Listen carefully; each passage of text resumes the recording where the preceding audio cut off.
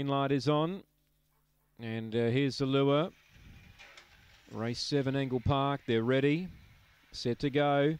Away, good line out. Now, Mr. Dagwood beat them out, ran straight to the lead. Roscoe Field second. Uh, Baz's Moment hugs the rail. Wide out Benno.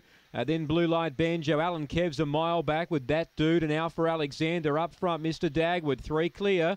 Benno and Roscoe Fields run on. Then came Alan Kev up the straight. Mr. Dagwood grabbed out wide by Benno. threw on the inside. Roscoe Fields beat a lot of them.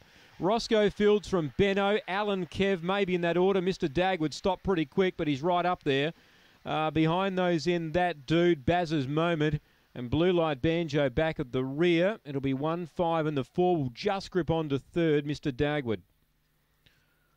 One Roscoe Fields from Benno, and Mr. Dagwood will grip on ahead of uh, Alan Kev, who got up on the rail. Roscoe Fields, he's got a very good box one record. 22.31 the time. It's a neck the margin. 9.76 early. 12.55 on the way home.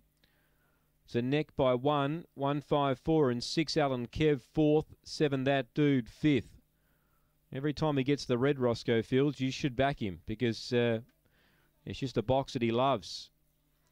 A neck the margin. Five second Benno. Who loomed up, but Roscoe Fields took the shortest way home. Mr. Dagwood went hard but uh, struggled to run the time that he needed to win. And Alan Kev has wound up in fourth, but might just be worth following because uh, there was a bit of smoke around for